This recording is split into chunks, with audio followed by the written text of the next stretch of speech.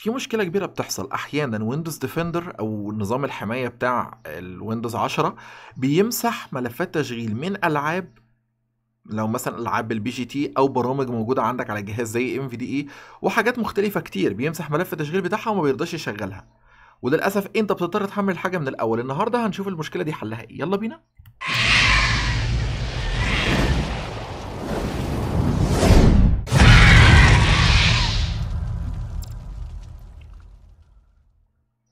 السلام عليكم إيه الأخبار؟ فيديو جديد أنا أحمد سامي. النهارده أنا هشرح لك إزاي تقدر تحل المشكلة اللي أنا قلت لك عليها في أول الفيديو وهي إن Windows Defender أحيانا بيمسح ملفات أو بيمنع تشغيل برامج مهمة زي تبقى محمل نسخة NVDA كبيرة جدا ويمسح ال NVDA dot exe أو الملف اللي بيشغلها. فأنت طبعا تضطر تحملها تاني ومفيش حل طب أشغلها إزاي؟ المشكلة دي حصلت بت- بتحصل مع TK بتحصل مع Crazy Party بتحصل مع برامج كتير جدا. أنا شرحت ال... عملت الشرح ده قبل كده لكن مشكلة الشرح اللي فات كان فيه حاجة. كان معقد على الناس بعض الشيء لأن ما كانش فيه ناطق دي أول حاجة. تاني حاجة كان في مشكلة إن لو أنت حركت الملف من مكانه يعني مثلا لو أنا دي نسخه Crazy Party وأنا حركتها من مكانها كانت بتحصل مشكلة دايما. وكانت الطريقة مش متقدمة قوي لكن كان فيها ميزة إن لو الملف اتمسح بتقدر تجيبه تاني. يعني بمعنى أصح لو أنت ما خدتش بالك Windows Defender مسح ملف معين من عندك تقدر تعمل له استرجاع عادي. فبرضه تقدر تروح تشوف الفيديو ده لو الموقف ده حصل معاك. لكن النهارده هنعمل شيء مختلف خالص. النهارده هعرفك حاجة اسمها ال exclusions أو الاستثناءات. إيه الموضوع ده بقى؟ الاستثناء هو عبارة عن إن Windows Defender ده أنا بقول له استثني الحاجة دي. يعني مثلا ال dot BGT files أنا بقول له استثني لي ال dot BGT file أي ملف. dot BGT file ما تمسحوش. تمام؟ مثلا أنا بستثني ال folder المعين ده. عندي folder مثلا نفترض في ال E أو في ال D اسمه حاجة معينة وأنا بقول له ما تفحصش ده مالكش دعوة بده. أنا هتصرف أنا معاه أو مثلا حاجات كتير. هنشوف دلوقتي التفاصيل كلها. آه أنا يعني بقول لكم معلش لأن الفيديو اللي فات بتاع آه، شرح Vocalizer X كان الناطق فيه صوته واطي شوية و... أنا يعني مش عارف أنتوا شفتوا إيه بالعكس. يعني أنا مش عارف أنتوا شفتوا الفيديو اللي فات أو أنا نزلت ده قبل ده ولا إيه الترتيب اللي حصل لكن يعني كان الناطق واطي شوية. تمام الموضوع ده ما يكونش ضايقكم. المهم نخش في الشرح على طول. أنا فاتح الناطق أهو. ركز معايا بقى. هتدوس Windows I عشان تفتح الإعدادات. أو طبعا ممكن تدوس على start وتكتب setting عادي. Settings. أنا هشرح بالإنجليزي لكن هي نفس الترتيب الخطوات بالعربي. للأسف أنا ما أقدرش أستخدم الجهاز بتاعي بالعربي عشان أقدر أشرح لك عليه. فأتمنى تكون متفاهم النقطة دي. هدوس tab مرة واحدة.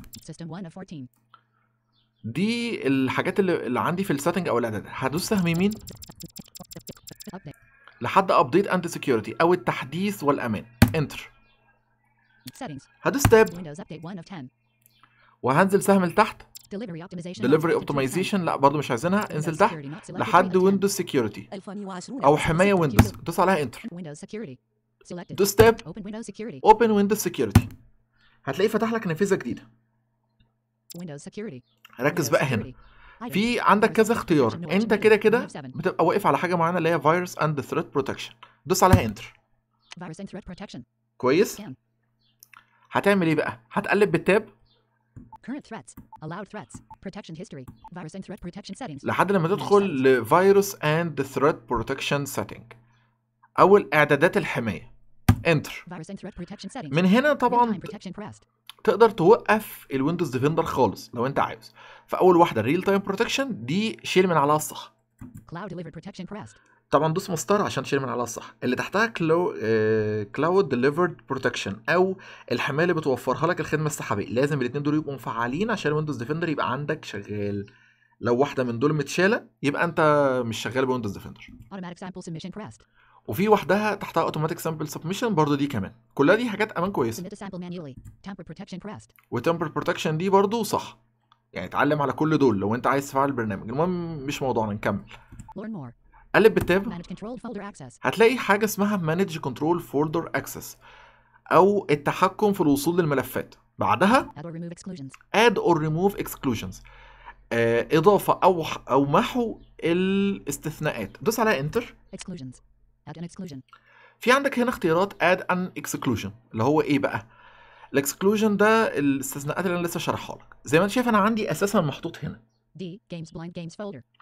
أنا ضايف هنا ال... في عندي في ال D file اسمه blind games ده اللي هي الألعاب المكفوفين فأنا عارف إن Windows Defender بيمسحها فأنا ضايفها هنا تمام وقايل له هنا. أنا بديك أمثلة على كل حاجة وده برضو folder اسمه screen reader ال screen reader ده اللي أنا بحط فيه ال NVDA وال JAWS وكل قراءات الشاشة بتاعتي فبما إن برضو هو بيمسحهم فأنا قايل له لأ أي حاجة في ال folder ده ما تلمسوش فهو بالتالي ما بيبصش عليه ابدا D. Screen reader NVDA.bgt file type. وده وده زي ما أنت شايف ال .bgt ده بقى نوع file أو extension أنا قلت له ال extension أو الامتداد ده ما تلمسوش أنا شرحت إزاي تظهر ال extensions أو الامتدادات والملفات المخفية في ال Windows قبل كده وكل تفصيلاتها تقدر تروح تشوف الفيديو. وده Bash dot exe وده process لو الناس اللي فاهمة ال Bash والف... ده محطوط ده مش أنا اللي حطيته ده إيه اللي حطه؟ بما إن أنا ثبت طبعا Git Bash for Windows فبما إني بستخدم Git Bash فهو Git Bash نفسه ثبت دي عشان Windows Defender ما يعملش مشاكل معاه. المهم لو أنت مش فاهم الموضوع ده ما تشغلش بالك. المهم أنت عندك في الأول إيه. Screen reader NVDA NVDA. دوس tab exclusion. add an exclusion دوس عليها. space file 1 of 4. فأنت عندك file. الأول يا إما تختار ملف واحد تقول له ما تمسحليش ده. بس. زي مثلا Crazy Party dot exe ده ما تمسحه سيبه زي ما هو. خلاص بس خلصت. Folder 2 of 4. اللي تحتها folder folder يعني ما تمسحليش ال folder ده كله. أنا هديك folder معين هو بكل الحاجات اللي فيه مالكش دعوة بيها. زي ما أنا عامل مثلا في ال folder بتاع ال screen reader أو قراءات الشاشة. تمام؟ تحتها File type 3 of 4. file type وتحتها process file type يعني نوع ملفات معين و process يعني عملية هنجرب واحدة واحدة واوريك بتتعمل إزاي File 1 of 4. فأنا لو قلت file مثلا. زي ما أنت شايف هنا. هنا. بيقول لي open file name بيخليني أختار. الملف اللي أنا. عايزه Name tools. Items view. Start portable Cafif technique with easy pro.exe 4 of 5. يعني زي ما انت شايف دي النسخة آه، الناطق بتاعت كفيف تقني أهو. أنا كنت. مختار ال e xe files بتاعها بس اللي هو ما يمسحوش. Slash 21 slash فأنا مثلا بعمل بقف عليه هنا. وبعدين بقول له open كده خلاص هو مش هيمسح دي. دي ال file. Exclusion exclusion. لو عايزين نعمل folder هتدوس برضو على add an exclusion file folder 2 of 4 وتختار folder exclusion المرة دي بقى بتعمل إيه؟ بص. خلينا مثلا. أعمل لك folder على. ال desktop وأسميه مثلا يوتيوب. أو أي حاجة. Multi line selected new folder 2 O U U B. YouTube. YouTube 1 of 3 ه- هتقف على ال folder اللي اسمه يوتيوب. وتدوس select folder بس كده بتبقى أنت حددت الملف اللي هو ما يمسحوش أو الملف الكامل ال folder الكامل. لو حطيت جوه يوتيوب ده 100 ملف تاني برضه هو مش هيلمسه و100 folder تاني هو برضه مش هيلمسه خلي بالك. ممكن add an exclusion كمان مرة أنا أوريك كمان حاجة. File type 3 of 4 فعندك file type هنا بتحط ال extension يعني مثلا أقول له أنا عايز ال dot D O C X اللي هي ملفات ال Word ما تمسحهاش. سيبها زي ما هي. تمام. ودوس enter أو ممكن أقول له ال dot E X E files ما تمسحليش أي E X E file مثلا. أو ال dot bat طبعا ده لو انت لو انت غاوي يبقى عندك فيروسات بالهبل دي حاجة تانية. فتقول له مثلا ال dot bat يبقى أي ملف dot bat هو عمره ما هيبص عليه. تمام؟ ده اللي انت المفروض تعمله. طبعا أنا نجرب الأخيرة. Process 4 process هنا ال process name ال process name يعني إيه؟ العمليات. ودي الحاجات اللي بتشتغل بشكل مستمر عندك في الجهاز. لو خدت بالك من ال processes أنا كمان عندي ال PHP متثبته على جهاز فهتلاقي إن ال PHP dot X E وال MySQL dot X E الاثنين دول محطوطين ك process اللي هي عمليات هو ال Windows Defender بيشوف إيه الحاجات اللي شغالة على طول وبيوقفها لأن ما ينفعش برنامج يشتغل 24 ساعة أو طول ما الجهاز شغال. فهم دول بيعملوا نفسهم استثناءات برضه هنا لأن دول لازم يبقوا شغالين عندك. تمام؟ فأنا مثلا نفترض إن أنا Python dot X E E E. مثلا. Exercise 1 of 3 طبعا أنت ما تلمسش الموضوع ده إلا إذا كنت أنت فاهم يعني إيه processes لو أنت مش فاهم الموضوع ده ما تلمسهاش خالص. Exclusion. هو ده الفكرة. زي ما أنت شايف أنا عندي حاجات هنا كتير أهي. زي ما شرحت لك. أو ده ال ده ال PHP dot E X E معموله process هنا ال MySQL برضه معموله process عشان أنا بقدر اشغلها ك service عندي على الجهاز والماي اس كيو ال ادمن